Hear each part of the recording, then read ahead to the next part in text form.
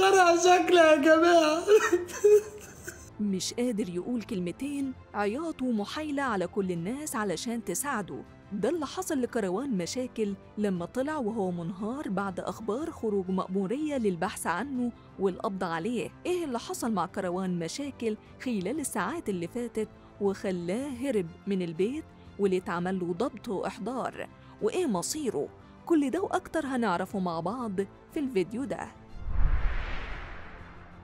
كروان مشاكل مش على بعضه وشكله هيفضل على كده فترة. امبارح اتشكلت مأمورية من الأمن وطلعت تدور عليه علشان تجيبه يتحقق معاه في قضية المذيعة إنجي حمادة. كروان من أول ما عرف بالمأمورية دي وهو مش على بعضه خالص. حاله زي ما أنتم شايفين كده بيبكي وبس وكمان هرب من بيته وكل يوم في بيت شكل. لا عارف يرجع بيته ولا حتى يروح منطقته يبص على أهله من بعيد. خايف لحسن الأمن يمسكه وإن مسكوه فهو وعلى كلامه هياخد مش أقل من ثلاث سنين حبس كله بسبب المذيعة إنجي حمادة والفيديو اللي اتسرب ليها معاه. ورغم هروبه وإن الأمن بيدور عليه إلا إنه قرر يطلع لايف وهو بيبكي وبيتوسل أي حد يساعده ويقف معاه. وكمان توسل النائب العام وترجاه إنه يطلع ويعتذر ويسامحه لإنه مش هيقدر على الحبس.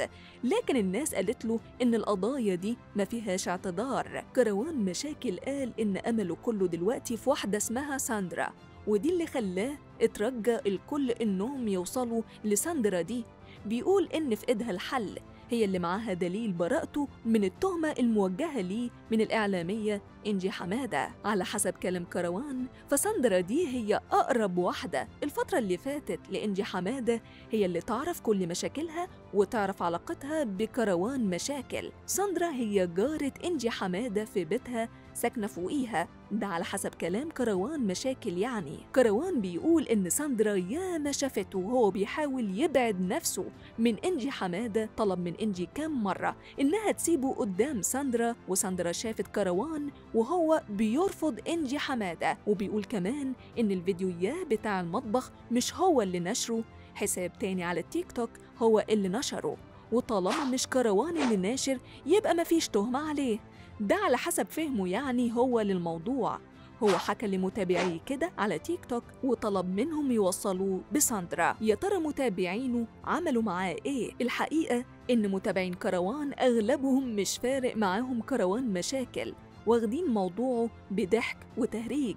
في فيهم اللي رد عليه وقال له اتحبس بس أنت يا كروان وإحنا هنجيب لك عيش وحلاوة. ملكش دعوة بساندرا ولا بحد تاني غيرها. في من متابعينه برضو اللي شكوا إن حوار ساندرا ده يكون ترند جديد. بيعملوا كروان مشاكل يعني رغم كل الظروف السيئة اللي هو فيها دي الشرطة بتدور عليه والنيابة مستنياه للتحقيق معاه. وهو في نفس الوقت بيدور على الترند والشهرة.